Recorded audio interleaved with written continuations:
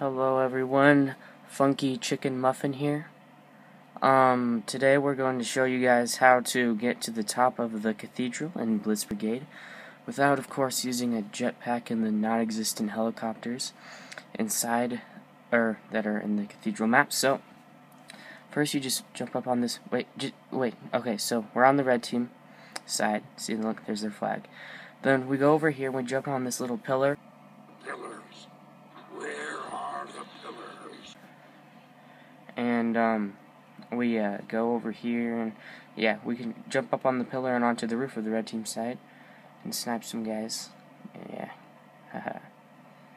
Uh, stupid gunners. Okay. So we can snipe some guys for the red flag right there. And then if we go over here uh, I'll just show you guys how to get to the blue team side. Alright so you see this? You go over there jump over that as shown land on this roof. Then you go to the second window the second window, people. I don't know how many times I've told people this, and they go to the first window and they die. So, you go to the second window, and you jump onto the ledge. And you jump over to this ledge, and um, you just look at the blue team flag. It's, it's right there. So, oh, there's a sniper. Boom. Okay, and so yeah, now we're on the blue team roof. And yeah, that's just how you get over there, and it's pretty awesome. So we have not yet, or we have yet to figure out how to get onto the, like the big roof up there. You probably just need a jetpack to get up there. But um, if yeah, I have a jetpack, so it's pretty awesome.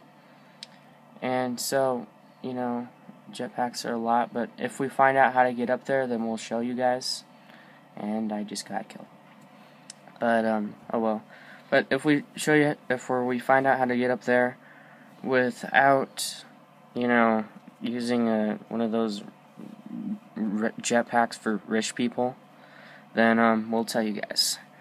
Um, if you have any questions about anything else, leave them in the comments. And um, that's all for today. See you guys.